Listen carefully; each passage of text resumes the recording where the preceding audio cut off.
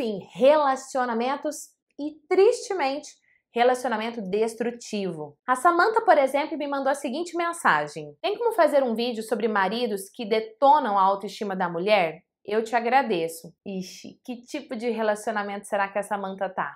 Num relacionamento destrutivo. E aqui eu já quero dar duas dicas para você. Primeira dica é: Ninguém tem o poder de destruir a sua autoestima a não ser que você permita.